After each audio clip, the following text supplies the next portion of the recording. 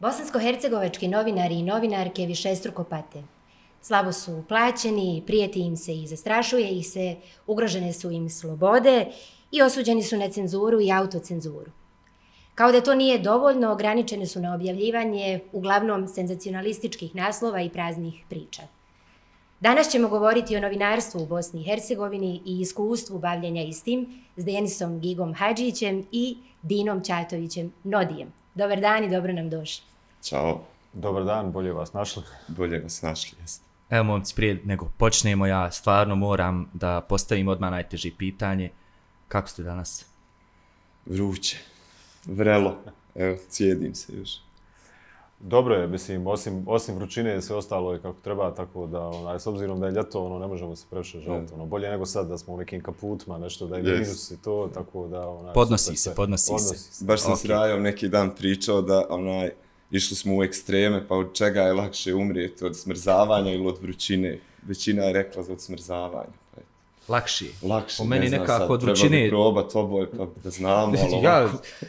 od vrućine strefite i nema, od smrzavanja, de, de smrzavaj se pola sata, Ja. sat, dan, nikad više.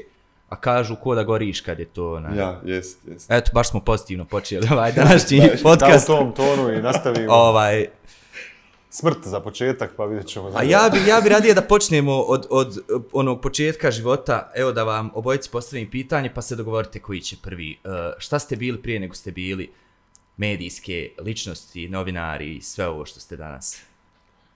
Pa evo, ne znam, da, ovaj, da mlađim kolege... Ovaj, Ja sam pa krenuo na kartu, hoćemo starijeg kolegu pustiti. Pa, hajde, evo ja ću. Ja sam rođen u, u Bihaću, odrastao u Cazinu, 2009. rođeni iz Sarajlija. Uh, radio sam uh, u raznim organizacijama, nevladnim organizacijama koje rade sa mladim ljudima, Omladinska novinska asocijacija. Bio sam dio i vijeća za štampu gdje je nekako i ozbiljnije počeo taj moj angažman volonter sam bio valjda prije, hamal. Ono, tek sad ubirem ono, neke plodove gdje sam, gdje sam džaba radio, da tako kažem. Ono, i, i, i, i, I šta znam, eto, kroz, kroz omladinsku novinsku asocijaciju, tako bili smo uključeni na, na razne projekte koji su se ticali novinarstva, radili smo sa mladim ljudima koji su u srednjoj školi, pa još nisu odlučili da budu novinari, pa onako malo smo se pripremali. Pored toga sam bio i u, i u Step by Step jednoj organizaciji koja se bavi orga, obrazovanjem. E, tu i tamo onako amaterski glumom u nekim, nekim serijama, nešto sitno se pojavljujem. Evo sad sam s nekog castinga za neki film, trebalo im gala. A onda kad sam stigao tamo, režiser je rekao da ja ne ličim na gala, da će me staviti na pijacu, da bi bolje bio kao neki pijačar. I tako, ma radio svašta, nije, nije, radio sam u hostelu, radio sam razne poslove dok se ne stane na noge kako to već ide. Dino? Ja, o, i mene su isto odbili za ovu ulogu ovaj, gala, ovaj, sad da li ću biti pijačar, vidjet ćemo. O, pa u principu ja sam nekako, nisam imao nikakvih specijalnih angažmana prije, uh, hajmo reći, bavljenja novinarstvom. Uh, još dok sam bio u srednjoj školi, sad slagaću da li sam bio drugi razred ili, ili tako nešto.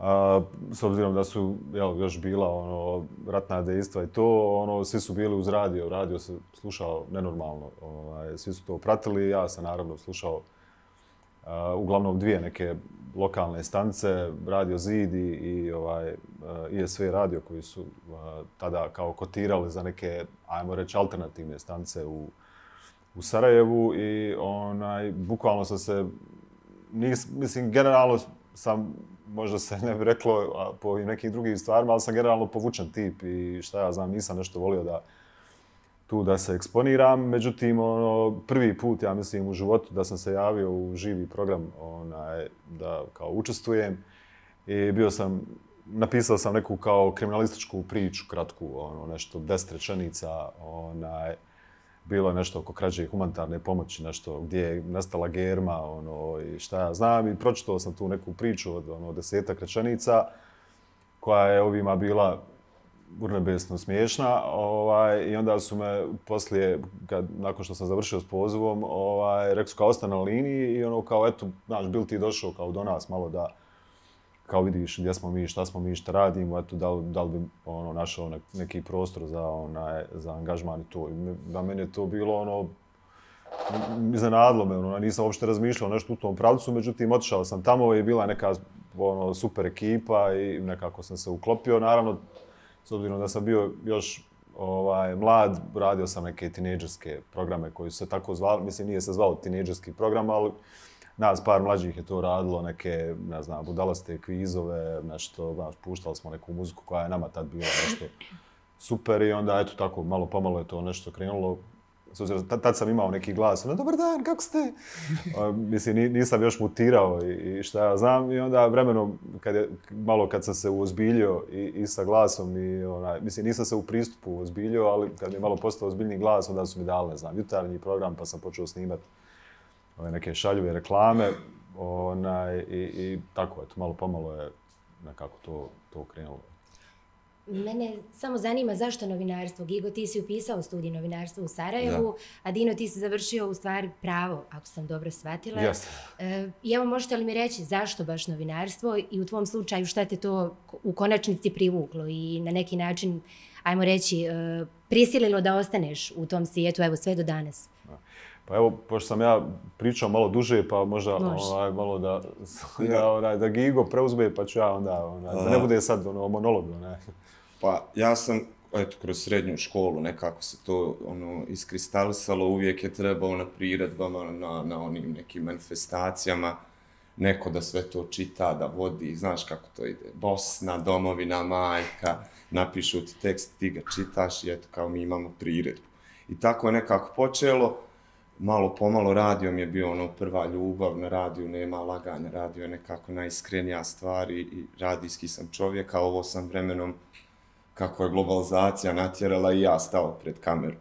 A onaj, ne znam, volim, volim istinu kao univerzalno dobro, pratio sam dosta Feral, Borisa Dežulovića, ekipu i svidjelo mi se sve to i onako odrastao uvijek, ne znam, prateći te razno razne alternativne medije. Evo, u Sarajevu sam čak zaboravio reći da sam i na IFM-u bio jedna divna priča koja onaj, nažalost, to nije, nije više o, ne živi kao prije, nego je ovo kako U je već završilo. obliku, je li? Uh, riječ je o studentskom radiju Zoka Čatića, ona isto jedan od mojih mentora bio na, na, na mom ovom putu. Tako da ono, uvijek sam bio zagovaratelj jel, istine i to mi se nekako sviđalo, uvijek sam želio da, da, da kažem kako jest, pa Ono, bolje, bolje da me mrzite zbog nečeg što jesam, nego da zavolite zbog nečeg što nisam. I tako je nekako sve počelo. Evo, ja da spomenem isto ovaj, studentski IFM radio, ist, mislim, eto, radili smo, onaj, možda ne u istom periodu, ali ja sam bio ovaj, dio studentskog IFM radija u Sarajevu. A, pa ja nisam htio da vam kažem do dolaska ovdje, do snimanja ovog podcasta, ja uopšte nisam novinar. Ovaj, A, t- mislim, jesam i nisam. Jesam u smislu što radim na, na mediju, da radim, radim na radiju i, i ono, ja sam više neki ono revijalno zabavni ovaj profil, dakle a, ne bavim se teškim temama, ne bavim se politikom, ne bavim se istraživačkim novinarstvom, manje više ono, ono što gdje mogu da nađem prostor za, za neki humor, za, za tako neko olakšanje i za sebe i, i za ljude koji slušaju, gledaju bilo šta, to radim. Tako da, ovaj, mislim, ima tu sigurno novinarstva jer u kontaktu ste s ljudima, obavljate razgovore jedan na jedan, ne znam, intervjue i te stvari, tako da neke tehnike novinarske koristim, ali ovaj ono ne, ne raskrinkavam afere, ne znam, onaj tendere i namještene i te stvari, tako da ono možda eto malo malo malo drugačije, ajmo reći novinarstvo. Opet u medijima si Tako. Ne. ista, je- ista je da kažem ljubav prema istim stvarima, da se, da se evo kako, kako si prelijepo rekao, da se ta istina Da. širi, nadajmo se. Evo, kad smo već kod, kod širenja istine, odnosno neistine medija, kakve medije pratite? Kakve medije uopšte vrijedno pratiti? Pa, ne znam da li sam relevantan, jer sam ja isto se nekako začahurio u svoj neki svemir i ono sad kako na Facebook ti se sve možeš podesiti da ti izlazi ono što ti hoćeš da vidiš. Pola stvari ne znam da se dešavaju, ali ono što pratim kako znam za sebe, to su više pojedinci možda nego mediji, ali evo, hajde od medija pratim CIN, Centar za istraživačko novinarstvo, oni su zaista ono, nisu ni jednom na sudu izgubili, to se meni pika. E, I manji, manji oni portali, neki, ne znam, e, žurnal mi je super, e-trafika, sjajna ekipa iz Banja Luke, e, Borsa sam, eto, Dežulovića spomenuo, ne znam, Kesića, i tako, uglavnom ovu neku ležerniju uh, varijantu gdje nema raskrinkavanja, gdje nema ovih Radioaktiv. radioaktiv, tako je, da, da, sad smo pričali prije, pročitao sam vas, gledao sam ovaj, kad je Irfan bio, super je priča bila i ja sam ga snimao nekoliko puta. Ma ne, uglavnom gledam ono da, da pratim medije koji, koji će me jel, inspirisati, opustiti, informisati gdje je onaj, A kroz ove treninge vijeća za štampu već sam nekako dobio taj osjećaj da, da, da namirišem da bi to moglo biti neka manipulacija, clickbait ili, ili nešto mm -hmm. preuveličavanje nekog. Eto. Hvala. A, pa ja isto ne bih imao nešto sad specijalno da dodam više od ovih nekih medija koje je ovaj, i Gigo spomenuo.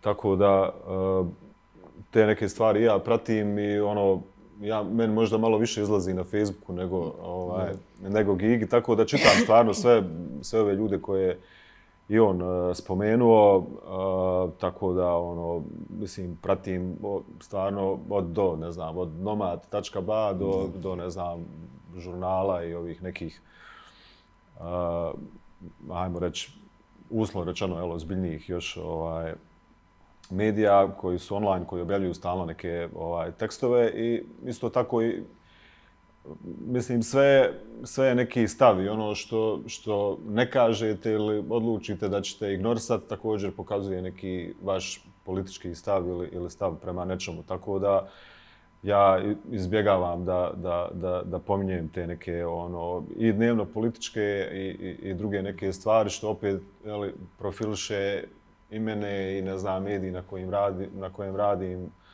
opet kao, kao, kao neki izbor šta da pratimo, a šta da ne i, i nekako trudimo se da ono, pa ne sad grube možda reći da se pravimo da je sve normalno, da, zi, da živimo ono, u Švedskoj, ali, ali možda više to neka naša težnja da eto, budemo, budemo to, ono, mislim, ne hodamo nešto očiju zatvorenih i začepljenih ušiju, ali nekako onaj, i, i, i odlukom šta pratiti, šta ne, čemu pokloniti pažnju, čemu ne, onaj, isto tako pokazujemo e, neki stav, tako da on je uglavnom u nekom domenu muzike i kulture, s obzirom da je to stvar koja nekako i, je i mene oblikovala i, i nadam se da će oblikovati više i, i, i mlađe, a da će ih manje oblikovati ove neke stvari koje, bez kojih ne možemo proći, ono, jer su stalno u vijestima. Znači, treba, treba biti dosta kritičan povodom onoga što konzumiramo. Naravno, sto posto, jer to evo, direktno truje od, od ne znam, neš, mislim, osim što pogoršava mentalno stanje, nekako vremenom i vi onda upadnete u, u svu tu neku negativu, počnete misliti da je, da je sve to isto, da, su, da je to sve onaj, odvratno, da treba otići koliko sutra iz države i ne znam, ono, ugasit sve, samo ono, sključit se, ne znam, ono, tako da apsolutno treba biti kritičan. ja bih se samo vratila na ta vaša prva iskustva koja su, kako ste rekli, bila uglavnom amaterska ili volonterska, možda samo simbolično plaćena e, i to može biti frustrirajuće. Zašto su važna ta iskustva? Da li to znači u stvari ulagati u sebe i šta je za vas značilo znači je taj period, ajde tako da ga nazovemo? Pa, evo, konkretno u mom slučaju, uh, radilo se, volontiralo se i zaista sada, evo, ne znam, znate i vi, vjerovatno ste volontirali, ovaj, u jednom trenutku ti sebe zapitaš što meni ovo treba, znaš, ne vidiš baš tog momenta možda te plodove, ali, ali s jedne strane širiti se taj networking, upoznaješ ljude koji se kreću oko, oko tvog nekog segmenta zanimanja, pa kasnije kad malo porasteš imaš bolje konekcije za sve, onako otvore se neka vrata, putovalo se puno, ima u volontiranju putovanja dosta, onako snađemo se, skentramo se kako možemo uh, i, i eto, zaista, tako sam u stvari počeo, ono, na, u početku jednostavno ti ne razmišljaš, mladci, ono, ne, ni ne razmišljaš ni o, ni o parama, ni o sigurnosti, ni ništa, ali vrati se nekako, ukoliko je to sve dobra neka zdrava priča, ukoliko je ono, vrijedi, zaista vrijedi, ono, preporučio bi svim omladincima koji se ne moraju u novinarstvo, neka volontiraju gdje god, šta god ima organizacija. Dobro ti to dođe, naučiš s ljudima, naučiš komunicirati, naučiš ono, misliti, razmijeniti misli, jednostavno, ono, budeš nekako ispred svog vremena ako dođeš na neki seminar sa strane i onda pogotovo žalosno je što se to mora isticati, ali eto ima i taj dio Uh, najbolji team building je u stvari na tim dernecima, znaš, kad sjedne neko iz Vlasenice ili, ili iz Bužima, iz Ljubuškog, pa njih trojica nazdrave, to je revolucionarno, jer ono, ja o tome isto često pričam, uvijek kažu, uh, trebamo se družiti, upoznavati, ali mi nemamo ceste, mi nemamo karte, mi nemamo autoprevoze, pola onih autobusa ne može doći iz raznih dijelova BiH do Sarajeva i obratno. Ono, imaš sve uslove da budemo posvađani i razdvojeni. Tako da je, da je i, to, i to nekako taj moment, ono, upoznaš drugi, mislim, drugi, isti, isto ljudi sve. Da li ste imao možda priliku da kroz sve to upoznaš i stručnjake? Naravno, naravno, dođu predavati razno razni ljudi, pa te onda i oni zapaze. Eto, recimo, moj ozbiljniji angažman u vijeću za štampu je počeo kada sam upoznao Ljiljanu Zurovac, jednu novinarku, strašnu mentorku koja je onako baš žena zmaj. I ja sam tu slučajno sjedio u prvom redu, svi su pobjegli u zadnji red jer su čuli da je Ljilja opasna, ja nisam ni znao ko je Ljilja. Ja sjeo u prvi red i kad me pitala ime, naslonim se na sto, odgovorim joj i ona je tu po pokretanju mog tijela shvatila da bi ja mogao biti ovaj, neki učenik ili dio njene redakcije i tako je u stvari sve počelo. Ono, ne, nisam, pola stvari nisam ni planirao, ali, ali ako si otvoren i, i, i, i ono, ako guraš naprijed, vratit se sve to. Dino, da. imaš neki komentar? Da. Nešto pa, za dodat. Nešto za dodat. Pa, u, u principu, mislim, najbolja je stvar da ono, vas neko odmah nazove i kaže, e, znaš šta, ono, super sti mali, ono, možeš li doći rad kod nas za platu, ono, od, ne znam, milju i pol, jel, već, ova, koja je cifra, ali to se u realnosti, nažalost, ne dešava i uh, sve ove stvari koje je Gigo spominjao, znači, treba iskoristiti maksimalnu priliku, pogotovo dok je čovjek dok je čovjek mlad i dok mu nije taj neki novac, ono, nešto u prvom planu, jer osim sad ako nemate želju da od 18. postanete milioner, ali yeah. rijetki su to.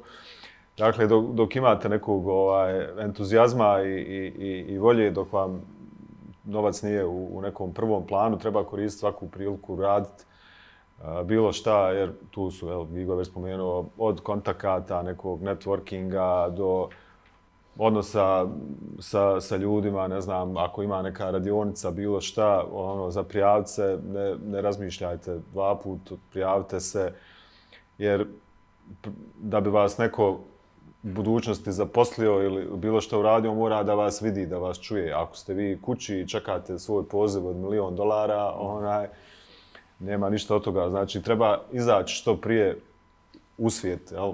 ne sad u svijet u New York, nego znači izaći iz kuće i, i, i baviti se ono čim, čim god. Možda nije to neko prvo idealno zanimanje koje smo imali u vidu, ali a, ako se jel, pokažete, onda će to sigurno doći. Recimo, onaj, ja ne, ne volim da mijenjam poslove, rijetko kad skačem, nešto ono gdje se, da, recimo ja odavde neću otići narednih deset dana, ja, ono gdje, gdje dođem, volim da se onaj, nešto učahurim, ako mi je super ekipa i nađem se, to je to. Ali ovaj, nisam često mijenjao poslove, ali kad god sam mijenjao, to je bilo zato što me neko prije čuo, vidio, pa, pa mi je rekao, e, znaš šta, evo ima sad neka nova ekipa, pa eto, bil ti, pa onda ne dođeš tu, pa onda, e, evo, i mi sad nešto to, pa bil ti. Tako da morate prvo nešto uraditi i onda je to onda neka valorizacija vas, vašeg truda, ne znam, nekih talenta ili bilo čega. Ne mora to biti u nekim ogromnim količinama, ali ćete sigurno primijetiti neki napredak. Znači, ide se neka stepenca dalje, pa dalje, pa dalje. A sad dalje je do vas. Sad, ono, hoćete biti zadovoljni tu gdje jeste ili ćete tražiti opet nešto još. Ali iskoristiti sve što, što izađe, tako Da. a ono, neki, pare će doći. To mi se baš Mislim, sviđa meni kako- nisu još došle, ali doći. Doći, doći. To mi se sviđa kako kažeš iskoristiti svaku priliku na koju naiđemo. Evo vi ste uspjeli izgraditi karijeru u tom novinarskom svijetu, uspjeli ste zauzeti svoje mjesto, da tako kažem. I šta mislite o, evo, o tome? Rekli smo niste zvanično po struci novinari, šta mislite o brisanju tih granica i tome što danas novinar može biti bilo ko? Da li se na taj način ruši kvaliteta? Evo, šta mislite o tom? Pa, pa ne znam, bitno je da, da je osoba koja, ovaj, koja će se baviti time da, da poznaje i, i, i te segmente i odgovornosti. Baš je, slično sam pitanje pitao Dežulovića i on je rekao kao evo sad da nam se neko sa osmog sprata ove zgrade baci, svaki mulac ima telefon i on će snimiti i može to staviti gdje hoće.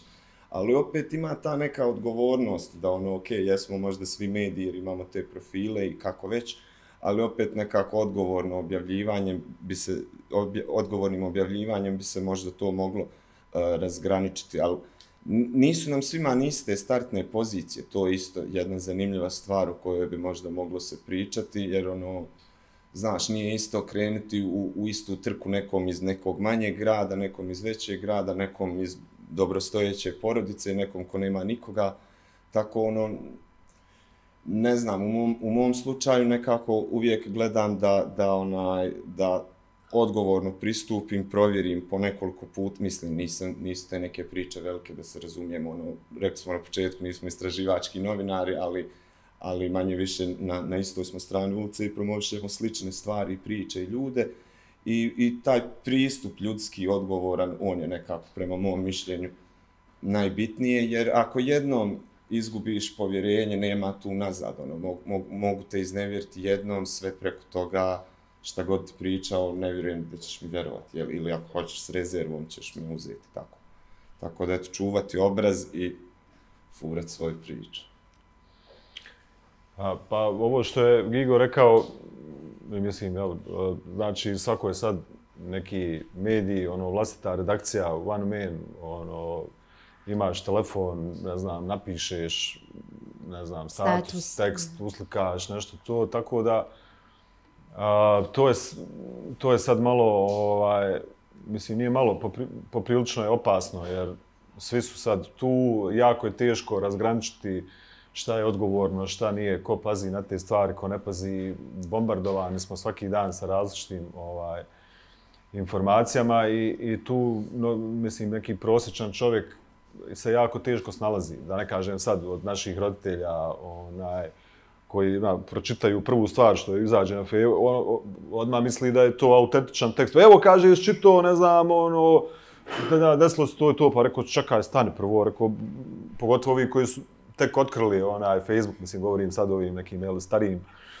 ovaj, našim uh, građanima, onaj, oni misle da je to odmah, njima je to jednako CNN, ili ako je izašlo, ako je nešto na televiziji, ili ako je nešto na ekranu, bilo kakvom, ne mora biti televizijski, ako je na mobitelu, ne znam, tabletu, oni uzmaju da je to 100% tačno, pa onda ja moram da objašnjavam, ono, ne znam, staro i ono, čekaj, prvo pročitaj, znaš, ko je to napisao, jel znaš ti uopšte tu stranicu, taj portal, ono, jel to, ne znam, sad, lupam, oslobođenje, Avaz, žurnal, 5. i 10. Pa kao nije, to je neki, zna, nešto, Bosna Info, Times News, Net, ekskluziva, tačka ba, nešto. Pa rekao, prvo vidiš to, pa onda, ono, znaš, malo razmisliš ima li tu od ovih drugih stvari koje se vidjela, ili ima tu ikakvog smisla i to. Tako da, onaj, sad, mislim, svi su odjednom novinari, neki istraživači, filozofi i, i onaj, tu se jako, jako teško snaći. Mislim, mi se možda možemo snaći, ali ovaj, većina ljudi, većina ljudi baš i ne. Tako da ja ono ne znam stvarno ne, malo sam malo sam tu ono pesimista nešto po tom pitanju, ovaj na šta će to izaći za godinu, dvije, tri, šta ćemo imati još od od nekih ono mreža, medija, šta ćemo pratiti, hoće li se tu uvoditi neka cenzura, jer je kao internet je sad posljednje slobodno kao mjesto, evo, postoje naravno Kina, te države koji pokušavaju, ali ni one čak ne mogu zaustaviti. Tako da internet je posljednje slobodno mjesto i malo su svi sad preslobodni ovaj, na tom internetu ne znam baš koliko se možemo oslanjati na neku ličnu odgovornost, jer ima tu različiti, ne znam, smijem se reći kretena, onaj. Smije. Smije. Vidiš, ti si rekao za starije generacije, ja mislim da se kod nas mlađih generacija dešava obrnuta stvar ili suprotna stvar. Mi postajemo sve, čini mi se, ciničniji, sarkastičniji, ne vjerujemo uopće više ni u šta zbog Da. tih silnih fake news, lažnih vijesti. I to je isto Pa jest. problematično. Da, to su sad dva ekstrema, ono, na, ne vjeruješ nikome i ovi koji vjeruju u sve. I onda, Da.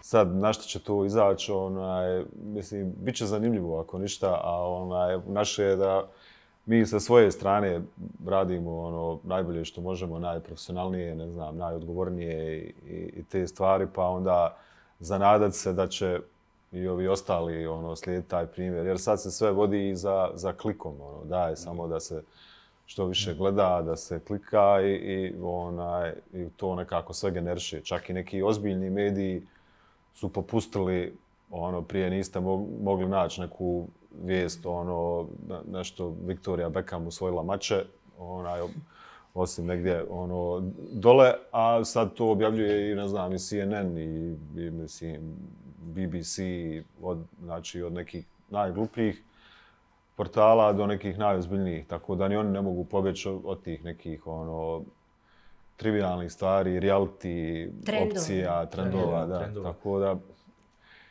ono, Ako je, ako je knjiga, ne znači da je književnost. Ovo malo prije, što za medije pričamo, evo i, Da. i kolekcija Ivona i ja nismo, nismo na žurnalistici, nismo završili žurnalistiku, završavamo nešto totalno drugo. Ali evo, trudimo se da, kad nam je već ponuđen taj medijski prostor, čovječe da ga iskoristimo ono normalno. Ali evo, kako, kako Dino kaže, na, na internetu su svi malo i, i previše slobodni.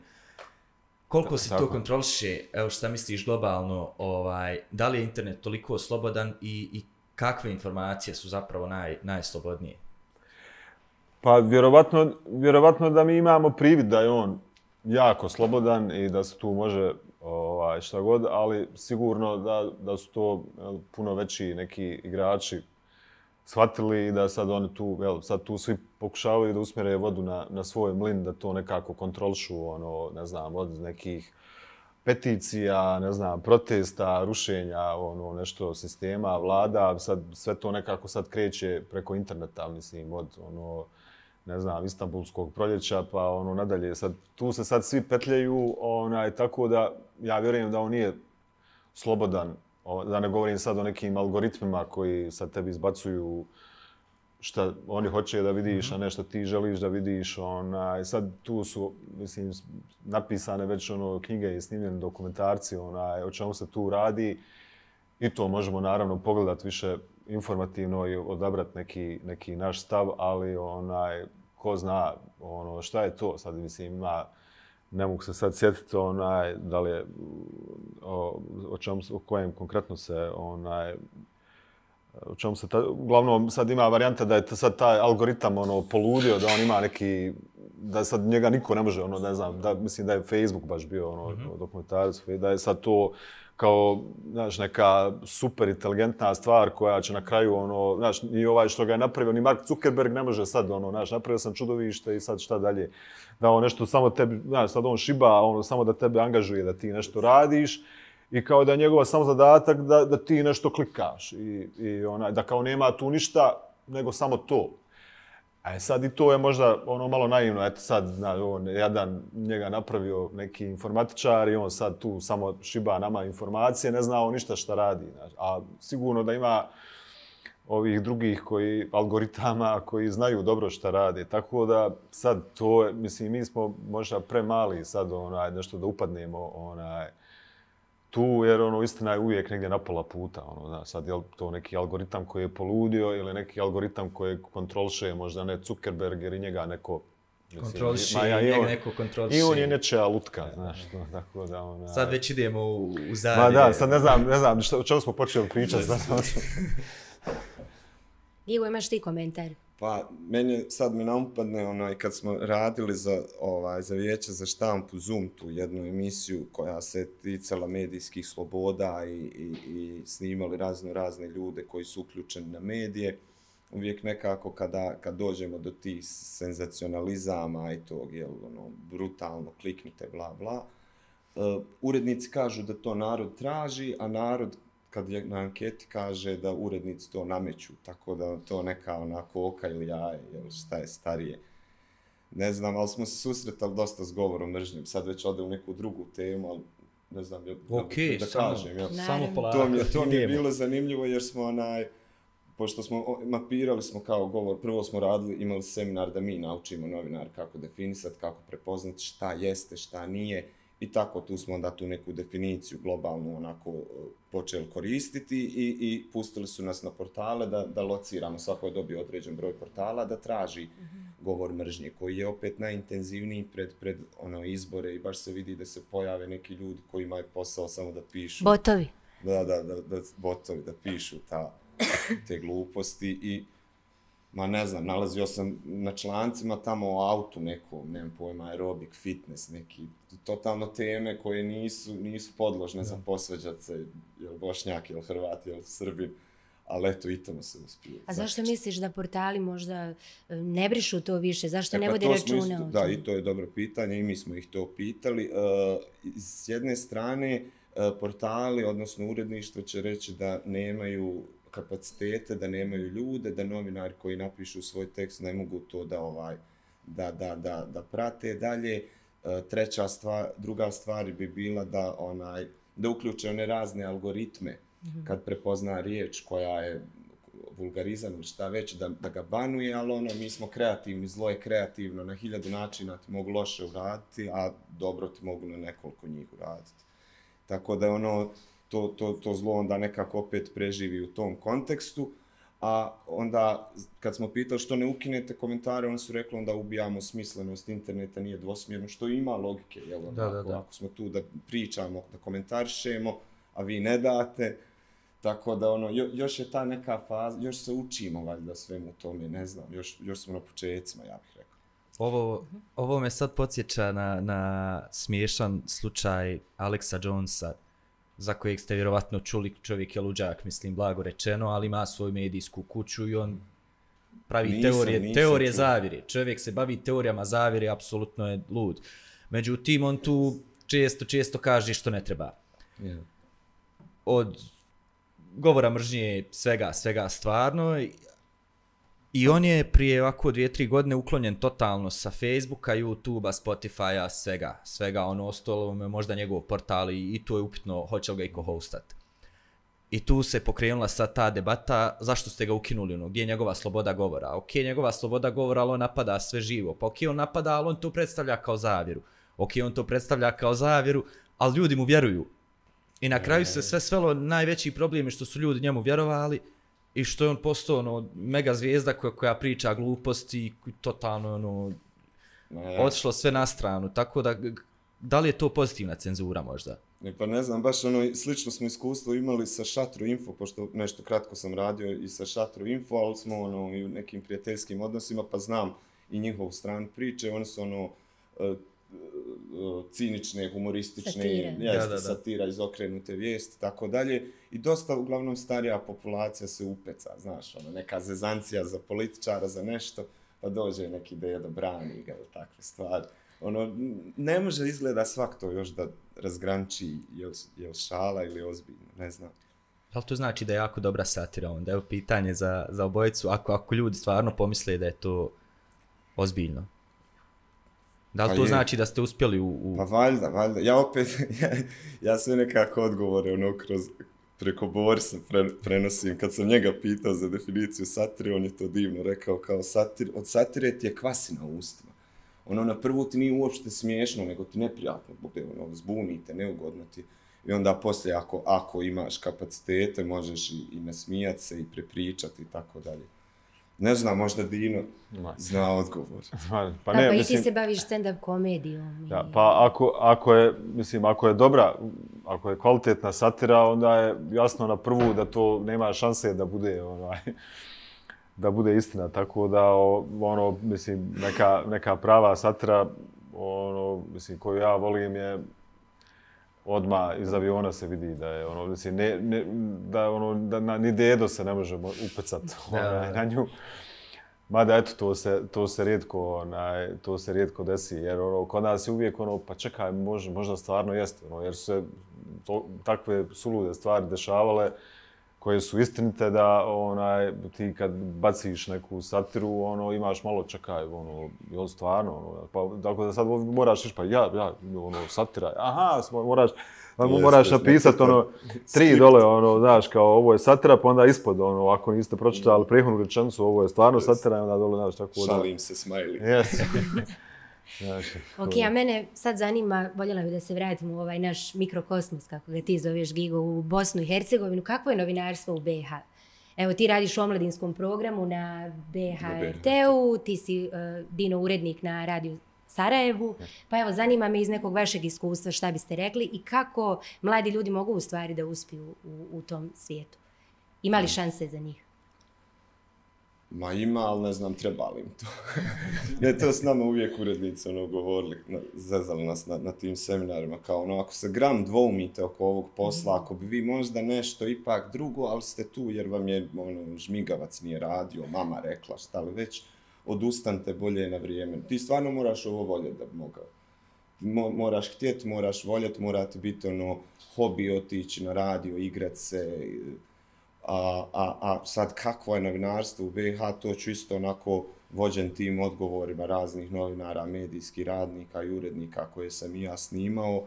Uh, pa koji u svemu na, na, na, ono, na dnu dna rekao bi, postoji mala šaka ljudi ono koje na prste jedne ruke, da pritom ne koristiš sve prste, možeš nabrajati. Tako da... Ono, Lako se ostao bez tri prsta Zna, u nekoj... znači, onaj, Čekaj, nabrojati kakve ljude, Znači, nešto četiri tačno. čovjeka i manje. Dobre, da nešto rade, da su, da, da, da, ono, da, da ne lažu, da, da, da, da nema tih senzacija i tako dalje. Štela, ne znam, ko, koji u svemu, evo, naslušao sam se svega, ono, mislim, i ja dok sam došao do ovdje, isto dobio sam neka zatvorena vrata, znaš, dobio sam neke, neko traži da se ošišaš, ne možeš po Bogu biti takav novinar, moram svi isti biti. Neko traži, znaš, da završiš, neko, ne, neko, neko, da završiš fakultet, nekom je bitno da znaš raditi posao, ono, zavisi kako, na šta opet naletiš, ali bih rekao da, da, je, da je onako tag life, borba. Da, da, da, otimanje. Ja, jest, jest. A mislite li da je na neki način ugrožena uh, sigurnost bosansko-hercegovačkih novinara i novinarki? Da li ste čuli o takvim iskustvima? Pa sigurno da jeste, mislim, to možemo da vidimo isto možda ne na dnevnoj bazi, ali, ali barem na sedmičnoj. E, ljudi koji se, koji se, koji se bave novinarstvom e, vrlo često dobijaju e, prijetnje. Dakle, imamo tu varijantu da nemamo sad puno nekih poštenih, hrabrih novinara, profesionalaca, ali ovi koji imaju su pod strašnim pritiskom, jer, mm jer ih, e, mislim, napadaju što bukvalno jel, fizički, što, što, ne znam, prijetnjama, ucjenama, ili nekim subtilnim načinima kupovine, ono, e, daj malo ti to, ono, znaš, popusti, ono, znaš, vratit će se, mm. ono, znaš, što im trebati dijete na fakultet, ne znam, ono, voziš staro auto, onaj, te, ne, mislim, postoje, naravno, ako nešto ne želite da se, da se objavi ili da utišate nekoga, postoje različiti načini, A kod nas je ono nekako uvijek najlakši onaj jel, seljački ono da odmah Zastrašivanje.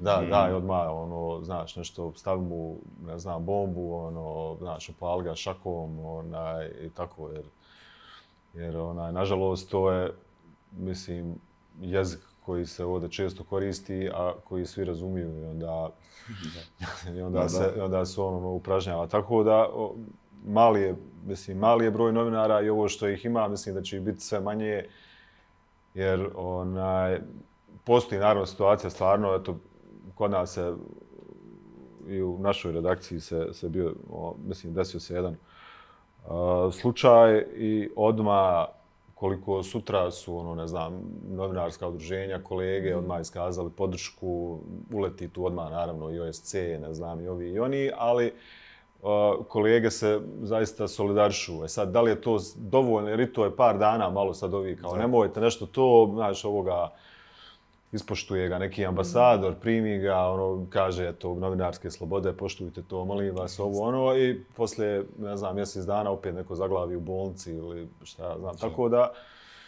to nekako ide, ide, ide u krug, onaj, mi, mislim, još uvijek se nije riješilo, ali, onaj, tako da, zaista treba, kao što oni djeluju agresivno, tako i i ajmo reći novinarska zajednica i, i, i onaj kolege svi moraju isto tako agresivno da djeluju jer je to očito jedini način. Dakle, moraš na silu udart udart silom i jedino, jedino tako se mogu zaštititi neki životi. Ono, eto, srećom, onaj, jel, mi nismo imali toliko slučajeva ovih nekih ono, baš crnih završetaka, ali mislim, ako se ovako nastavi, nije isključeno i to da bude tako da.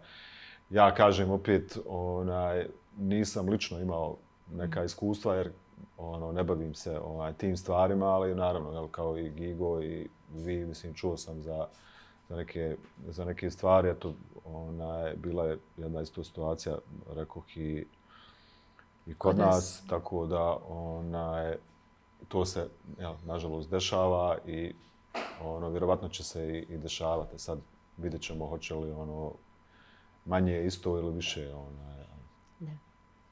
Da, istinu, ne mogu baš svi da podnesu. Ja. Gigo, imaš ti samo neki komentar? Ili... Pa evo, sad sam vrtio ono, nek, da li se mogu sjetiti šta je zadnje bilo. Sjećam se da je Senidžarom u Sarajevu bio zadnji mm. slučaj novinarka koja isto ona, neugodnosti neke doživjela, a, a, a nije trebalo u najmanju ruku.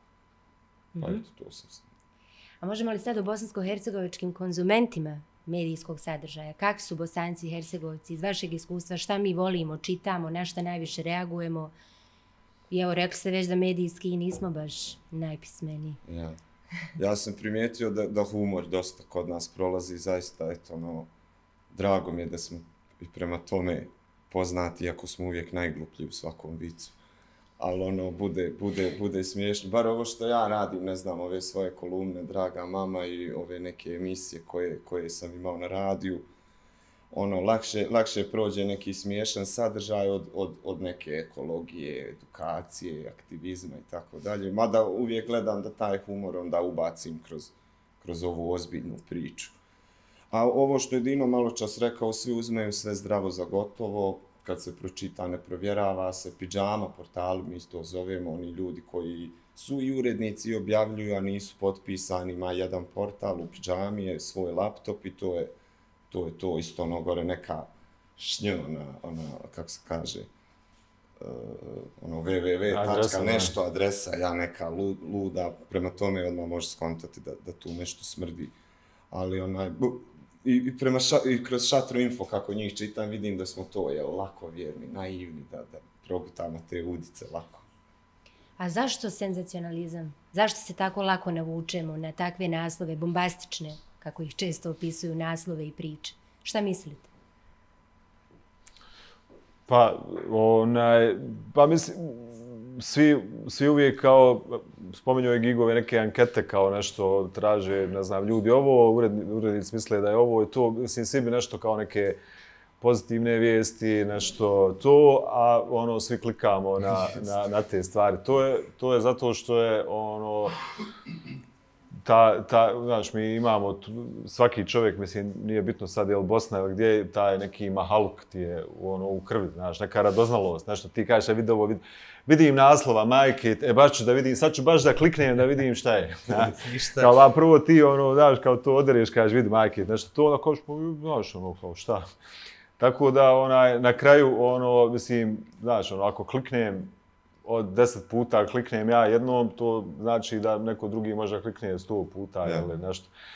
Tako da jednostavno to je, to je nešto što, što je, mislim, ukorijenjeno u nama. Mislim, zato i ovi, na kraju krajeva i popularnost nekog i ovih reality stvari i to, to jednostavno, onaj, sad, je to skonto neki psiholog, pa su on pa je to krenulo od nekog ozbiljnijeg istraživanja ili je to samo krenuo neki čovjek od sebe, pa eto, mene to interesuje, vjerovatno će interesovat, ne znam, i ovoga, i ovoga, i onoga, i onda je udarilo to po, onaj, po, tako da, da je to jednostavno samo neka, ono, iskorištavanje onaj, ljudske prirode. Ja mislim da taj senzacionalizam nikad neće umrijeti, nego je on samo bio ono, pot, potiskivan dok su bili neki pravi režimi, onaj, dok je bio ono, jedan čovjek koji je mogao to da drži. Jedan čovjek. jedan čovjek.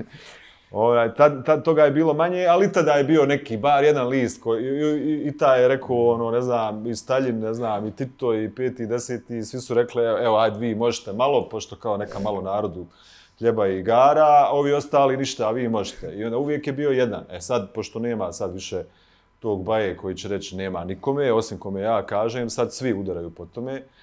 Tako da ja ne vidim da će to ikad izumrijeti, ono, sad da ćemo mi naći nešto sad odjednom čovjek neće biti radoznao i ono mahalaš, mm. znaš. Mislim, neko je manje, neko je više, ali onaj, to ja ne vidim da će se to nešto onaj nekako zatomiti nešto da će biti u manjem nekom obimu jer s obzirom da ta neka sloboda raste, mislim toga će biti ono sve više i više. Na, na kraju neće biti ja mislim, ono neće biti nikakvih ovih normalnih vijesti, nego će sve biti ono nešto ona Senzacionalističko. Da, da, da, da, naš. Da, kao da Pročitajte da li će konzumenti- sunce izaći u 6 sati 65 ili možda neće nikako. Pa ne, ništa stavljamo onda ime šokantno. Nećete vjerovati šta je, šta je novinar Ja, ja, e, sad Radio je- Sarajeva govorio u podcastu. E, e, to, ne, Brutalno, skandalozno. Da, da. E, to je sad problem, jedino ostajemo malo bez tih riječi, već smo ispucali to sve Ja, skandalozno, ja, šokantno, Ekskluzivno. eksplozivno, ekskluzivno, znaš, ne, sad nema, nema šta, onaj, tako da to malo, jedino morat ćemo početi malo tu da ona, izmišljamo neke nove stvari, jer ovo već je obrnuto sve milion puta, ono, znaš, Mhm. nemaš. Dobro je, dobro je da jezik studiramo onda što se toga tiče, možemo uvijek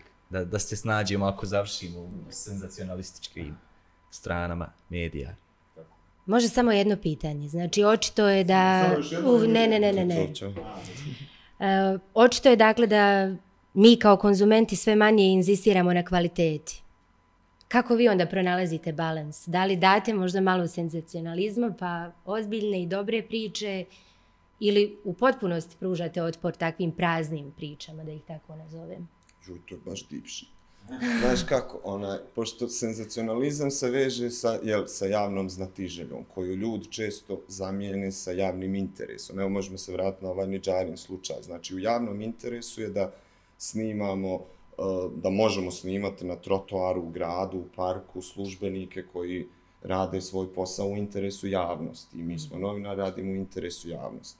I to, to, to je sasvim ok objaviti ukoliko je ta, sad postoje situacije gdje nije ok kad je žuta traka, kad je neko nešto drastično mrtav ovo ono. Naravno, nećemo sad ubijati mrtve ljude, ali, ali, ali ta, to, to, taj pristup snimanju, dakle, u javnom je interesu da svi vide kako ljudi koji su pra, plaćeni od gradskih, od, od, od ovaj poreza, kako obnašaju svoj posao. E sad, javna znatiželja je kad bismo otišli, ne znam, nekom kući ko opet ono ne, nema veze ni sa, sa, sa ovaj neki, nekim poslom koji je od javnog interesa i snimali njega. To, to bojim se da ljudi ovdje teže razgraničavaju i, i, i da miješaju potpuno to ono javni interes je u interesu javnost nešto što se tiče svih nas, što je u redu da svi, i trebali bismo svi da znamo, a javna znatiželja je ono slamka nekom u krvi pijemo, to, to, tu nekako, ono, ne znam, zapetljao sam se sad. Do, dobro vam je, dobro su vam pitanje.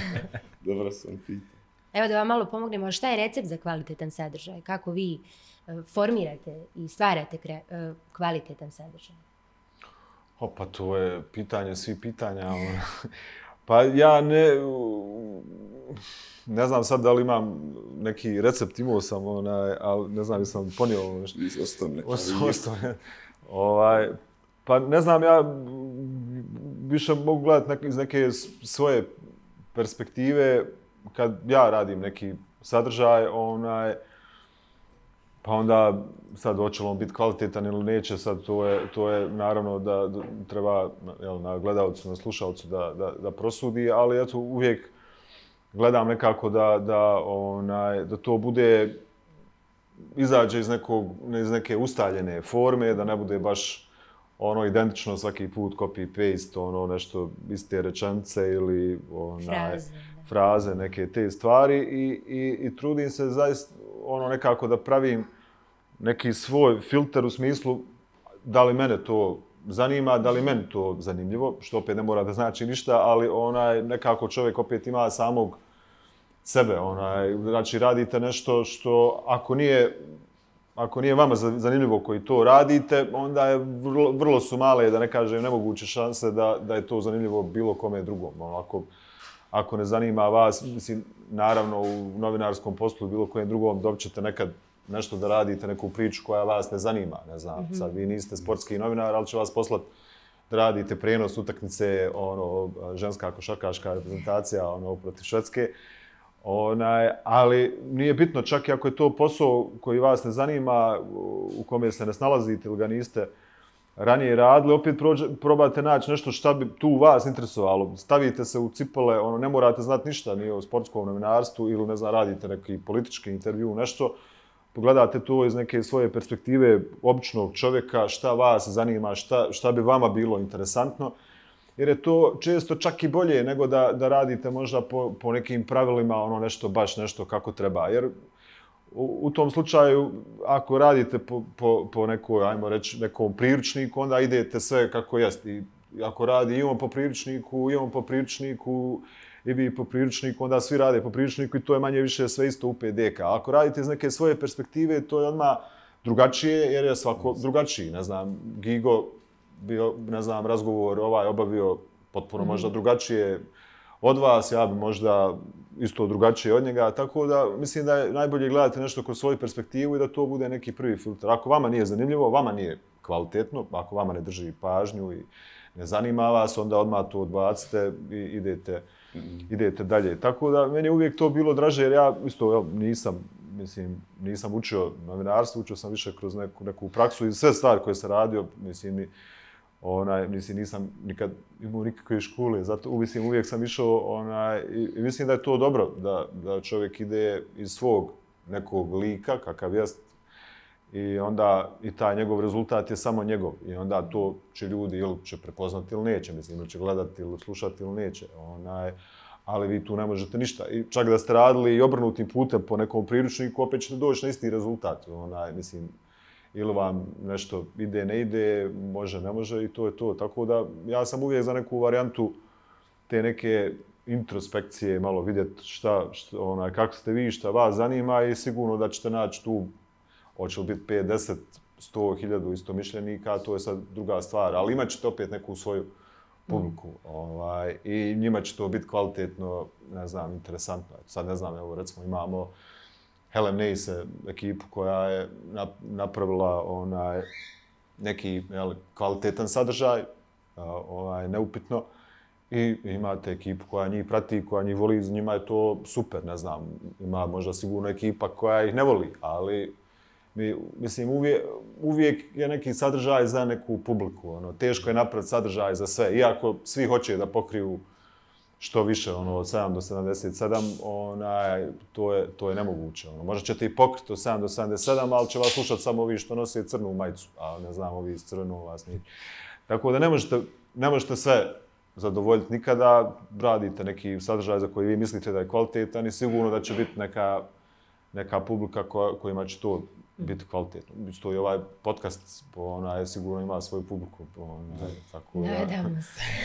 I ko, ko, koja će možda nakon ovog podcasta past ne, 50%, ali mislim, šta možemo? I, I to je promjena. I to je, i to je neko dešavanje. Dolazi onda nova publika ili se samo smanjuje, ne znam, vidjet ćemo, ovaj, pa ti javimo kakva će tužba biti u pitanju, pa ćemo se ganjati. Dobro, klikat ću ovo, kad, kad završi, kad vi objavite, ja ću klikati jedno mjesec dana. E, može, može, eto. Like, plaćat ćemo ove botove tamo u, u Sjevernoj Koreji, onaj, ne znam gdje su jeftiniji, Sjeverna Koreja ili Pakistan, može.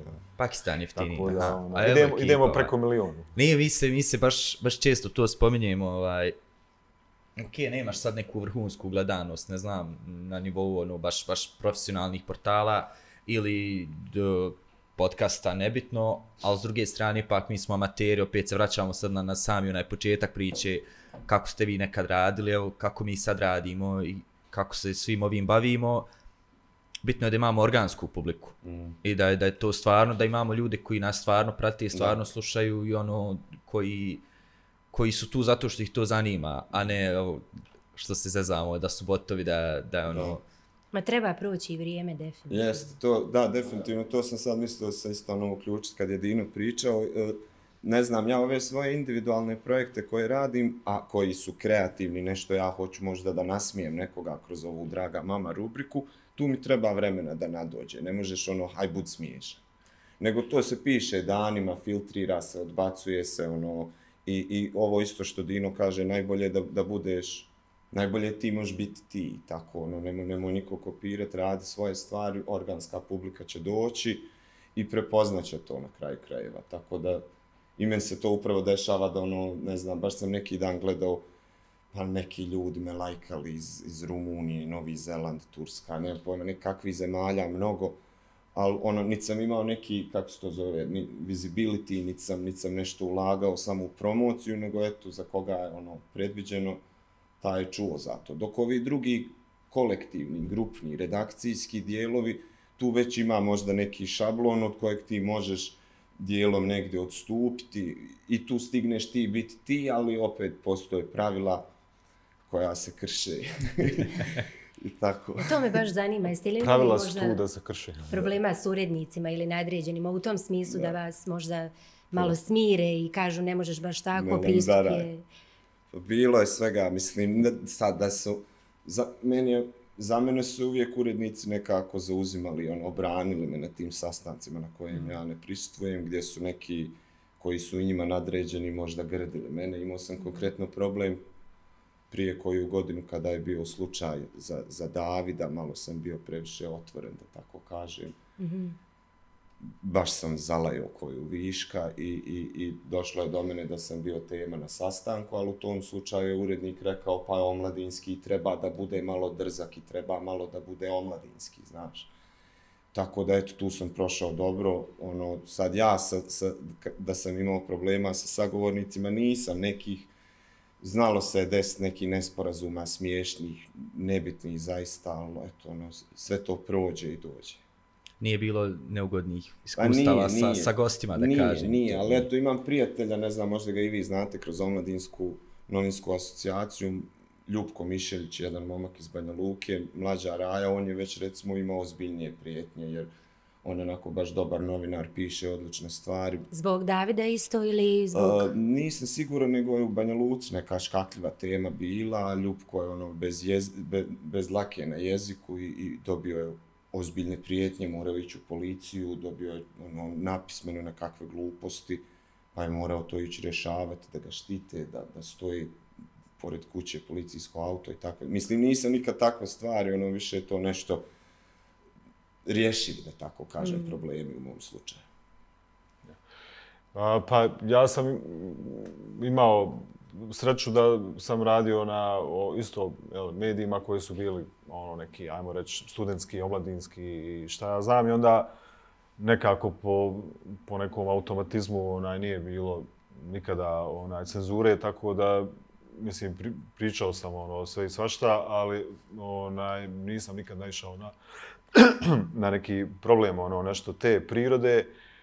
Što se tiče priče, ali opet kažem, nisam ni ja nešto ulazio u, u onaj, sad, znači nikad, ni- nikad nisam nikoga vrijeđao ni na koji način, možda jesam bacio neki sarkastičan komentar, ali onaj, ono, sarkazam lakše prođe i to, i s obzirom da onda, mislim, je sve u tom tonu, onda, jel, ono, ovako kažem, nešto iza njega i ne znam, iza njega i sve, onda, ono, kao, eto, sve si jednako malo prozvao, nešto uvrijedio i onda je, onda je, onda je to okej. Okay. Tako da, se tiče priče, a kažem, opet nisam onaj, nešto tu po tom pitanju konfliktan. Ovaj, se tiče priče nisam, ali s obzirom da smo radio, onaj desilo se naravno pa, mislim ne jednom ne, ne baš urednici urednici su uvijek ono bili ili raja ili smo bili, bili sami sebi urednici ali ono desi se da, da te nazove ono ne znam i prije ne znam ono direktor ili nešto onaj da se desi ono e znaš šta ovo Mada i ti, ono, kad oba skontaš, pa dobro, jest, nisam baš morao da pustim, ono, Rage Against the Machine u 8 sati ujutru ili, ne znam, ono, jedu majku, ono, ti, ne znam, ono, nešto svima. Tako da, ono, kad oba ti skontaš, ono, kao, pa dobro, jest, možda, eto, nije baš sad trenutak, ono, uz ručak da se spominje ona stvar i šta ja znam. Tako da, uglavnom, onaj, uglavnom što se tiče muzike, bilo je malo tu nekih korekcija u smislu šta u kojem terminu je onaj nešto dozvoljeno, a onaj a onda eto šta ja znam, vremenom se to manje dešava jer i radio stanice idu sve više ka komercijal, tako da onaj, sad više nemamo tih problema jer ne puštamo više onaj Rage Against the Machine i ne znam, ono, šta ove jel, psovke u, u nekom dnevnom terminu i šta znam. Ima naravno uvijek ono može bi bikat to, tako da ono, ima, ima, ima i ove cenzursane verzije sad i sjeku sve što onaj što ne treba tako da onaj u principu i to ono sad prolazi. Tako da ja onaj lično nisam imao nekih problema osim eto par tih nekih stotina slučajeva, da. Jeste vi imali problema? Mene prenese kad vidim mikrofon od Maja.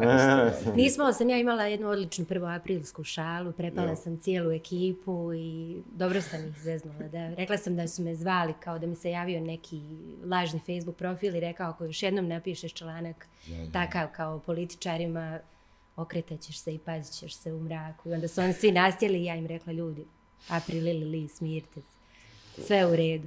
A mene samo zanima, jeste li ikad primijetili kroz svoj rad, angažman, možda autocenzuru? Da vi imate neke blokade ja ili stereotipe? Ma nis, mislim, ne znam. Ona, sve što mi je bilo na umu, a opet da je svrsishodno, istinito i, i provjereno sam ono objavio, ali kažem vam, nisam spašavao svijet. To su neke mm. male priče koje ono, ti neki mikrosvemiri, ali, ali nisam sebe uhvatio. Čak i evo, u ovom slučaju Davida, sad s ove distance kad pogledam, možda sam i trebao pristupiti, ako ništa, malo lakše, jer sam ono, naivno sam baš svašta sam pričao, ali, ali opet i neka sam na kraju dana, ono, i, i zaslužili su.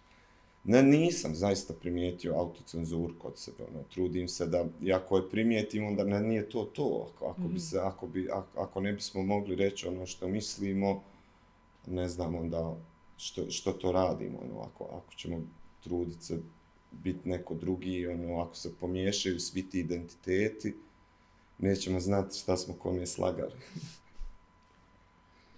Pa, ovaj, ja, ja ne znam sad, da li, mislim, imam autocenzuru u smislu, ako ne mogu reći neku provalu vezano za to što govorim, onda obično to ne kažem. Ali, tako da, on, ako prenosim neke informacije, prenosim informacije, ne komentarišem ih ja kao nešto, onaj, ako ne mogu baciti neku tu šegu, šalu, pošalcu, onda ne komentarišem. Pročitam samo, ne znam, informaciju, pa nek ljudi, onaj, zaključuju, ali ako se može ubaciti neka provala, mislim naravno onaj, što da ne. Ali recimo, ne znam da li se to svodi pod autocenzuru, recimo uh, imam, ne znam, profil na Facebooku, manje više jedino njega onaj, nešto koristim, ali imam cenzuru u tom smislu da na svom profilu ja ne objavljujem nikakve svoje stavove ni o čemu.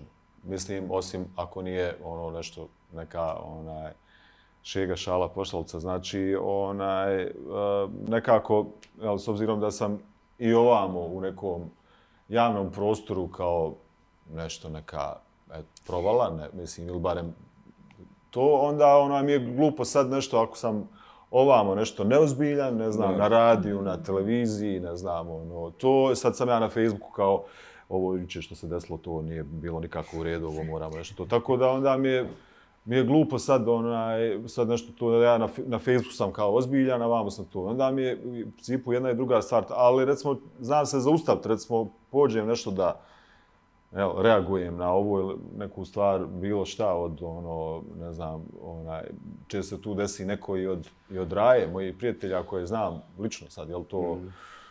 Onaj, tako da, da se često za, onaj, zaustavim jer nekako mi je malo licemjerno, znaš, nešto to, sad ovdje si ovakav, ovdje si nakav, ako sam takav u nekom javnom prostoru, onda, mm. onda je to to. Tako da tu, tu recimo pravim neku cenzuru, šta ću reći, šta neću reći. Odnosno ne govorim jel, to, nego onda ako, A ono, ako sam već klaun 24 sata, onda sam klaun svugdje 24 sata. A ako ništa... A onda, onda, onda ono, znaš, ono, žen se nagovori, e, znaš, tu, znaš, ono, znaš, ili ne znam, uhvatim gigu, e, slušaj sad, ono.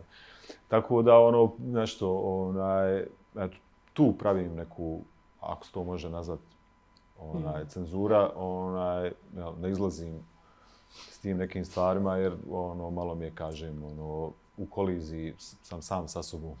Može samo prije ovih pitanja o van novinarskim aktivnostima, samo da vas pitam šta je vama najdraže? Radio, televizija, dopisništvo, pisanje, uređivanje tekstova? Šta vam se do sad najviše svidjelo? Ajde, Ki. Mene. Mm, Meni je, eto kako sam i rekao, radio mi je ono broj jedan, sad sam u zadnje vrijeme sve češće ispred kamere, čak i, i, i nešto sitno i video montaža, prije, prije je bilo i pisanje. Uh, u zadnje vrijeme sam se dosta počeo baviti glumom na neke načine, to, to je zaista nešto što nisam ono planirao, a evo već sam dio neke ekipe koja učestvuje u jednoj humorističnoj seriji, pa evo sad sam sa castinga za neki film, za nekakve gale, ne znam ni ja šta je tačno. I, i, i, i to mi je ono, e sad neke aktivnosti, ono, sport, košarka, šta znam, takve stvari, ali eto, radio mi je broj jedan. A zašto? Šta zašto? Zašto radio broj jedan? Pa to zato što je nekako ta, na radiju mogu izgledat kako hoću, znaš, mogu doći u šorcu na plus 40 u augustu. Mogu, ne moram se šišati, ne moram, ono, ne, ne, nema laganja, neka, mislim, im može svak svakog slagati, ali, ali se najbolje primijeti na radiju, ono, nekako najbolje, najbolje čujem kad u Adobe povećamo na brda, ono, vidiš, ono, uh, da bi mogla biti neki alarm za laž. Tako da, eto, tu, tu, tu mogu mapirati istinu najlakše. u tom. Dino, pisanje ili vođenje radijskih emisija? Pa, o, šta ja znam, nekako, i, mislim, jedno i, jedno i drugo ono, ima svoju neku ovaj, draž. Meni je isto radio broj jedan zato što o, sad je to sad je to drugačije u potpunosti ono mislim radio prije i radio sad jer je prije radio bio samo na radiju znaš sad je sad je radio svugdje sad odjednom imaš ove podcaste video znaš izađe live stream ono znaš tako da prije si ti mogao biti skriven ono u svom studiju za mikrofona ljudi čuju samo glas nemaju pojma ono kakav je znaš, ljudi su mislili ono uvijek da, da sam ja ono dva metra, znaš, neki ono grdosija, neka, znaš, ono, zaj, znaš, neki zajeban lik, ono, znaš, to jer ono kao ča, čuju kao neki, eto, sad glas, ono, duboko, ovo, ono. I onda uvijek kad me vidi, pa, čekaj, a ti, a ti, jes ti, ma, ja to, pa onda ono, ja, dobro, eto.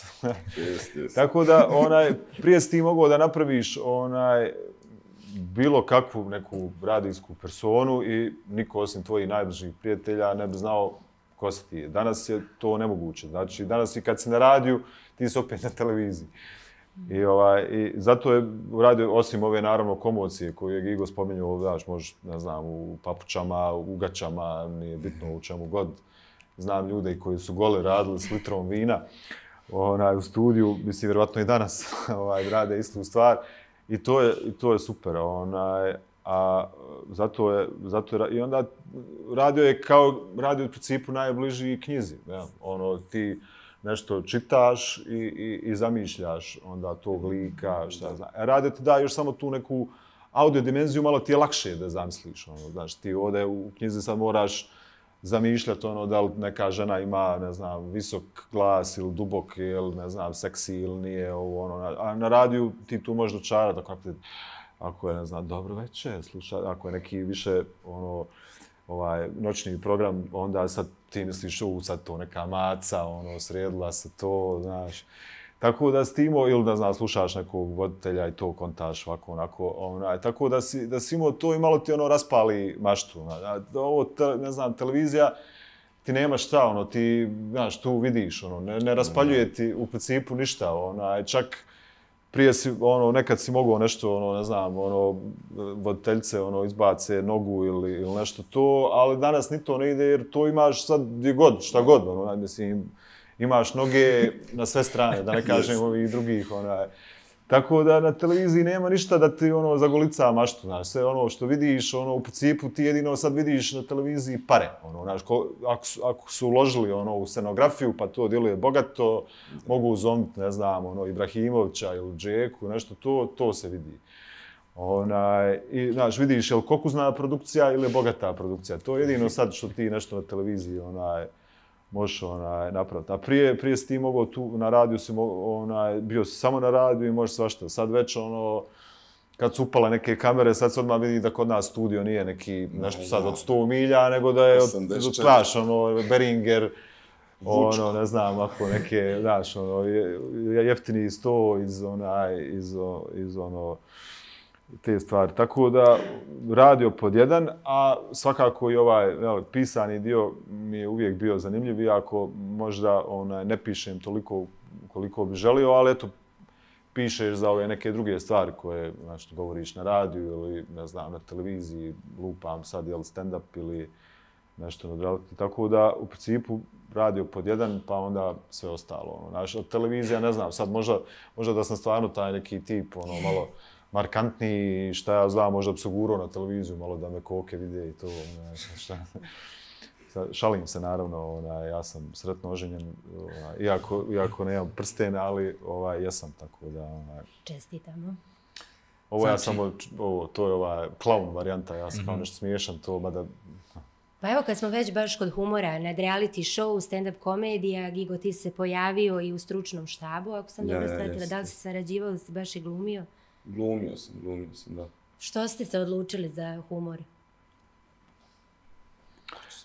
Pa, ono što se mene tiče, tu nije bilo nikakve odluke, to je ono nekako prvi, prvi izbor i kažem, prva stvar s kojoj sam se pojavio uopšte na, na radiju je, je bio humor. Da nije bilo humora, ne bi ni radio na radiju, ne bi dobio nikakvu ni priliku, ni ništa i, i onaj, i nekako, šta ja znam, uvijek uvijek sam želio, ja, ja sam bio kao primjeran učenik, ali sam imao uvijek ono kao sniženo vladanje, jer sam stalo ono nešto, ovaj, znaš, nešto Dobacivo. profesor dobacivo uvijek nešto ona, iz klupe, onaj, te stvari, tako da, ne znam, uvijek sam nekako i, i prije i sada, ono, šta ja znam, ne znam, mislim, ne znam sad da li ja želim da nešto nasmijem ljude, nego jednostavno to je neki, neki živac koji imam sad, ne- nekom je možda uopšte nije smiješno, ali jednostavno to je, to je nešto što mene tjera da progovorim. Onaj, O čemu?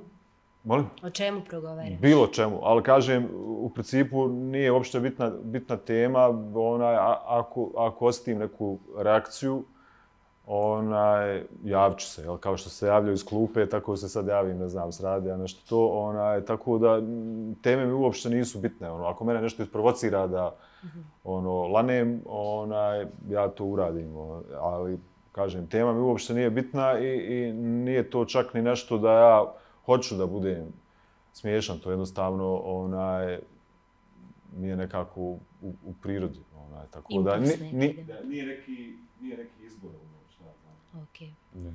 Mislim, pitala sam više zbog toga da li to predstavlja neki bijeg od stvarnosti u vašem slučaju. Ti si Gigo rekao da uglavnom konzumiramo takve sadržaje, humor i slično. Pomaže li nam to da pobjegnemo od ovog ludila u kojem živimo? Pa ja to ludilo u- uvedem ovamo nekako, ismijavam ga kroz, kroz te svoje emisije, konkretno kroz Dragu mamu, tu, to je neki taj prostor gdje u stvari ono, ne objavljujem više nikakve statuse na Facebooku i nešto tako, nego pustim da mi se realnost nagomila i onda trudim se to ono, iz, iz, iz moje neke perspektive da, da ispričam, prepričam i nekako isto ovo kroz srednju i, i odrastanje, kroz škole uvijek sam bio taj neki nemirni lik. Sad ova verzija da sretne mene mlađeg, naša marobika. Ali onaj, a onda ovamo na stručni štab, to se isto desilo jer, jer poznajem tu ekipu ovaj, koja, koja je uključena u produkciju i, i prijatelji smo i trebao im je neko ko bi mogao da bude taj neki novinar. Jest, jest, trebao im je neki, ne, neki novinar, eto, voditelj. I tu sam onda ja uskočio, jer smo mi od uvijek htjeli, ranije dok smo bili u ona u Bihu prije nekih 7, 5, 6, 7 godina, uvijek smo mi htjeli neku svoju nešto da snimimo mi, neke svoje nadrealiste, svoj dnevnjak, svoje nešto smiješno, neku emisijicu koja je upakovana u, tu, u to vrijeme, u tu sadašnjost kojoj se nalazi, ali nismo se nikad ono, znaš, ohrabrili, nismo išli do kraja i sada je, ovaj, deda je to jedan od nas usudio se uz pomoć vlade Mirze i ostale ekipe, da ne nabrajam, zaboravit ću neko garant, mnogo ih je, i, i onda sam i ja postao dio toga i, i eto, sarađivao sam i sa glumcima, iako nemam to neko iskustvo, ali kažu, ne znam, da sam najsmiješniji kad se ne trudim biti smiješan. Tako ono, kao ti samo dođi, budi ti, to će biti dobro i eto, snimili smo, smiješno je nama bilo dok smo snimali, valjda će biti ljudi kad budu gledali. Mi smo isto tako dođemo pred kameru, pravimo se voditelji, to je, i to je gluma, valjda, mislim, ne znam, ja to Dobro tako vidim. ide, Dobro vam ide. Gluna. Zašto ste ostali u Bosni i Hercegovini? Ostavite ovdje. Pa nisam Evo ja- vidim da nisam- želite ulagati u sebe, da ste pametni, simpatični, uspje, uspjeli biste sigurno i negdje vani. Zašto ste ostali tu? Pa sad, koliko bi uspjeli, onaj, vani, to je, to je sad pitanje, onaj, pa ja, ne znam, ja u principu nisam nikad nešto ni, onaj, razmišljao o tome da nešto sad odem, ono, nešto kao, onaj, uvijek sam, ono, ne, sa- ali ne mogu da garantujem sad kad me nazvao neko iz Amerike i rekao, znate šta, imamo za vas dobro plaćenu poziciju ovaj, na našoj, ono, ne znam, naravno da, jel, vjerovatno bi otišao. Tako da, onaj, ne mislim, lično kod mene nije to bila neka stvar izbora, ja kao sad će, ovaj, sad će ostati, ostat, u, zadnji ću da ostanem, znači svi će da odu, ja sad zadnji ostat neću, nikad neću otići, nikad. Ne. Nisam onaj, nisam uopšte nešto, dakle nemam ni neki patriotskih razloga, ni neki lični jednostavno, šta ja znam, ono isto ko što sam, rodio sam se tu, nešto živim, e, ja vjerojatno ću i umrijeti, ono, nemam pojma, ako me put nanese negdje drugo, mislim, možda i ne ostanem, možda je ovo zadnji intervju koji ste snimali sa mnom ovdje, možda na sljedeći put, onaj, to bude na mom terenu negdje, ovaj, tamo u švicarskim Alpama, onaj, tako da nisam ono, nisam nikad pravio neki nešto plan, sad će ja biti to i to, radit ću tu i tu, nešto jednostavno tako išlo.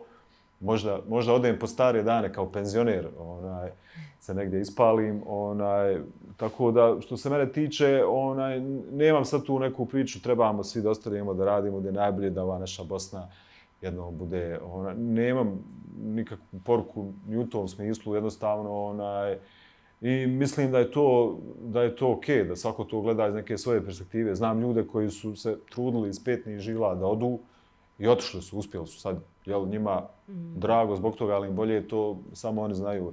Jednostavno neko želi i neko ne želi. Onaj, ja nisam ni, ni želio ni ne želio, nego jednostavno život me tako onaj, nešto nosio, ono, ne znam, eto, šta bi bilo, ono, ne znam, da je, jedino da je stari, ono, kad je počeo rat, rekao, znate šta, mi treba da odemo u Švedsku, mislim da nam je tamo bolje. I onda, ne znam, sad bi ja bio tamo neki mali šveđanin, onaj, Ibrahimović i to, međutim, nije, znaš, tako da neki izbori su zbog, ne znam, naših roditelja koji nas mogu onda usmjeriti ovdje ili ovdje, nekome će reći, stari, znaš šta, ti čim završiš srednju, upisuješ fakultet odmah, ne znam, tamo, ne znam, što ne zanima me, ima da dobiješ stipendiju, ne, nekoga usmjeri roditelji, nekoga usmjeri život, neko, neko sam želi, pa onda ode ili ostane. I to, onaj, tako da, principu ne znam ni šta pričam sad, onaj, uglavnom, zaustavite me, molim vas, molim vas. Uglavnom, ja sam tu, ostao sam, možda ostanem i dalje, možda ne ostanem, onaj, ne znam, gdje će me, ono, gdje me, gdje me sudbina odnese. Opsto si. Ja sam kao maslačak, mene vetar nosi. Meni onaj bude, kad odem u Cazin, ono, znaš, kući, pa kad vidim kako je prazna čaršija, ako u onom filmu Will Smitha, ono, I'm a legend, on čuko i niđe nikoga. Dosta mi je familije, porodice, prijatelja i svi su ono, otišli Slovenija, Austrija, Švicarska, Njemačka, ne znam koliko znate, pogotovo gore ta krajina, to je, koje god stigao pobjegao je kod nekoga. I ja sam jedini skrenuo na ovu drugu stranu, prema Sarajevu, da, da, da tu ostanem. Isto ono, nije, nije nikakav patriotizam, otvoren sam za sve priče i opcije, ali opet nekako da idem od nule, ni to mi se ne da. Zvali su me u Sloveniju na radio student kad sam sarađivao i s njima kao dođu ovdje, vodi kod nas emisije, možemo sve skontati, ne moraš učiti slovenski pričaj, ovako mi te razumijemo. Ma ne mogu, rekao, ne znam, ono, idem, ot, kažem, otvoren sam, nisam se sad zainatio, ako bi nešto dobro iskočilo, što da ne, ali, ali eto, sad tako nekako se vidim, vidim se ovdje i, i mora neko i ostati. Ima imaš i pitanje. Trebao sam. Jeste. Ja bi možda da hoćemo polako da završavamo. Ako, ako vam je okej, evo. Meni je super. Pa da postavim je jedno ugodno. pitanje koje ono može da pošalje jednu snažnu poruku našim gledateljima. Dakle, evo, kroz novinarstvo, kroz humor i Gigo, posebno ti, o tebi sam našla neke članke i vidjela sam da si se borio i za jedinstveni matični broj, mislim, Ja, bio ja, na tim jest, protestima jest. i za rijeke i slično. Zašto aktivizam, zašto se boriti za univerzalno dobro i za bolje sutra? Pa zato što nam niko neće ništa dati na, na tacnu, zato što, što mi u školama nećemo dobiti znanje s kojima ćemo moći, s kojim ćemo moći ono, da napredujemo i budemo veći od, od, od svih ljudi koji, ne znam, koji nameću sva ta pravila, zato što ono, sila masi daje ubrzanje, moraš imati akciju, moraš se pokrenuti, staviti neku zastavu samo na, na, na, na Facebook profil i tako, to nije to, to je taj neki aktivizam koji ne, ne bi trebao da tu završi, mora se ići na ulicu i boriti se i, i, i, i protestovati i, i, i ja sad, sad vrtim slike po glavi, da, to, to su bilo baš, to je bilo divno jedno okupljanje, mislim, žalosno je što se je moralo to desiti, ali je bilo onako ljudski, spontano i jedina prava stvar je bila da izađemo i da stanemo tamo i pištimo, ono, šta, šta drugo možeš. Možda u nekim trenucima se te metode ne čine baš najbolje, ono, pitaš sebe zašto se to dešava, možeš ti šta promijeniti, što kaže Damir Avdić Graha, diplomac, oni će doći s tenkovima, čovječe. Tako da, ono, a ti ovamo imaš pištu ili nešto, ne znam. Ali, iako se ne uspije nešto promijeniti, to ne bi trebao biti razlog da odustanemo od pokušavanja, da, da, da, da prestanemo i, i, i ne znam, mene je uvijek nervirala nepravda, mene je uvijek išlo na živce što, što, što neko može da ono, ima sve na svijetu, igra se Boga, a, a nije zaslužio jer je nečiji sin, znaš, ili takve stvari. I ne znam, ne mogu to da, da gledam uvijek, ono, išao, išao sam i na razne proteste od rijeka do, do, do za djecu, do šta god ima, kogod je tu, idem i ja punit u pištu. Pa eto, šta bude. To. Tino? Ja sam sasvim suprotno, ja nisam nikakav aktivista, ja mogu složiti neki miks ovo, znaš, kad izađu aktivisti da im ja ono puštam neku muziku. I to je malo da nešto. ih- I to je Da nešto. dižeš moral, ne? Tako da to, onaj, to mogu, onaj, tako da, nažalost, ne mogu poslati nikakvu snažnu poruku, mogu jedino, jedino snažno što mogu 20 klekova uraditi, onaj, to jedino, Ja onaj, tako da, onaj, eto to sad, mogu ponuditi 20 klekova za kraj, ako, ako Hajde, 20 sklekova. Dobro, da, da, da ne bude da je ono šuplja priča, ne znam kažeš da sad. si ponudio, mislim. Ne znam sad, ono, ne znam, ono, kako, jel se pikaju ovi ovako ili moram A, hajde, daleko eto, napred, ako- evo to, ako sad može. čekaj. To, Dva, dobro. tri, Ja se nadam da ova bubica neće biti onaj Sedam. tu. devet, Ne, ne moraš ti meni, pazi, ja mogu, on, četrnaest. bilo je lakše, onaj, kako se zove prije, kad sam ja tu Na klupi u parku. u parku probavao. 20, to je to. Jel, je u redu, neka evo još 50, da sam... Repumpu. Eto, ja mislim da, da, da Dokazano. ne, ja ne mogu stvarno snažnije od ove poruke da, da pošaljem, tako da. Odlična poruka. Evo, momci, hvala vam što ste došli, gostovali, razgovarali s nama, podijelili mišljenje, iskustvo, sve što ostalo što smo pričali, što nadam se nekom je nešto, evo, poslalo neku pozitivnu poruku. Vama, dragi gledalci, ali hvala što ste pratili još jedno izdanje našeg uh, podcasta, a mi se gledamo u sljedećoj epizodi uskoro. Ugodan dan. Hvala vam, čao!